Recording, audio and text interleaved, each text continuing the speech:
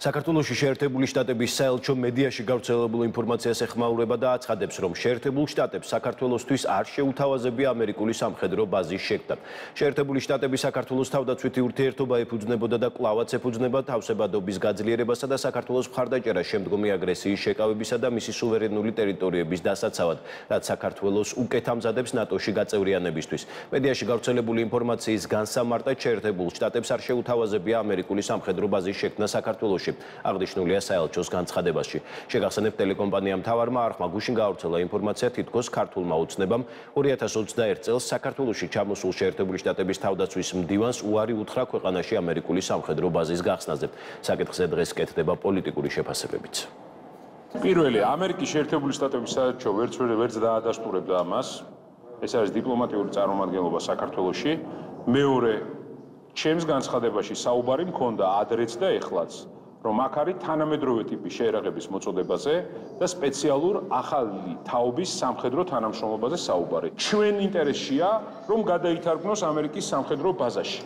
მე ვთქვი, რომ მინიშნებები იყო ამ თემასთან დაკავშირებით. თუ ესეთი შეთანხმება შედგებოდა, პირიქით საქართველოს ეროვნული უსაფრთხოების ინტერესებიდან გამომდინარე, ეს იქნებოდა წინ გადადგმული ნაბიჯი, თუმცა ჩვენ ხედავთ, რომ ქართული ოცნება ეხა ამ თემის წამოწევას და ამ თემის ამ თემაზე манипуляციებით ცდილობს საზოგადოებაში ისევ პროდასალური კურსის დისკრედიტაცია მოახდინოს. შეერთებული შტატების საელჩოს განცხადება არის ცალსახა და ერთმნიშვნელოვანი და ბევრად უფრო დამაჯერებელი და სარწმუნო ვინემ ქართული ოცნები საერთოდ არ მივაქცევდი ამას ყურადღებას. მეგონა რომ ოპოზიციის მიერ ატეხილი მორიგი ხმაური იქნებოდა უბრალოდ, მაგრამ ხელისუფლების წარმომადგენლები ისე მონდომებით ამტკიცებდნენ გუშინ რომ ჩვენ ბაზები კი ვერ დაგვიცავს, ნატო გჭირდება, რომ ცოტა ეჭვი შემეპარა რამე ისეთი ამბავი ხوار არის, რაც მე არ ვიცი თქო, იმიტომ რომ ნატოც ბაზებისგან შედგება ჩემი აზრით და ამერიკული სამხედრო ბაზებიც კარგი დაცვა იქნებოდა საქართველოსთვის. ეს არ იყო სერიოზული თემა და დადასტურდა კიდევაც და ეხა კიდე ამაზე რო ვლაპარაკობთ,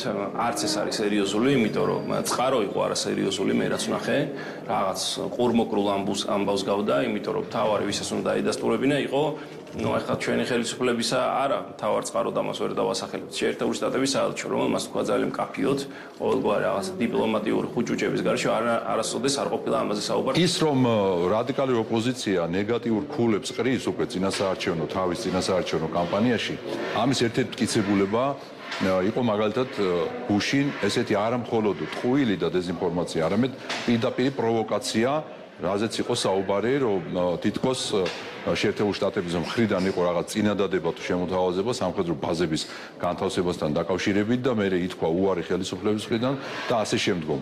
ეს არა მხოლოდ ტყუილია, არამედ ეს არის პროვოკაცია, რომელიც უარყო რა თქმა უნდა შეერთებულ შტატების საელჩომ. საკითხი, რომელსაც არანაირი არც მონაცემი ან ვინმეს ვინმეს მოსაზრება ან რაიმე ფაქტი არ არსებობდა და თუ არ ვწდები ერთადერთი ვინც ვინც ამ საკითხზე ისაუბრა თუ დაადასტურა გახდათ საზოგადოება მაუწყებლის ბორდის წევრი, რომელიც ოპოზიციამ აერჩია.